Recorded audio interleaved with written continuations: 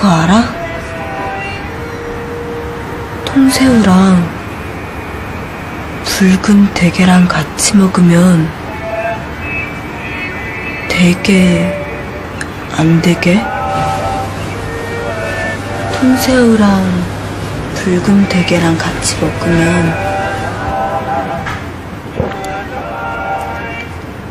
되게 되게 맛있대. 붉은 대게살 패티와 통통한 통새우의 신선한 만남.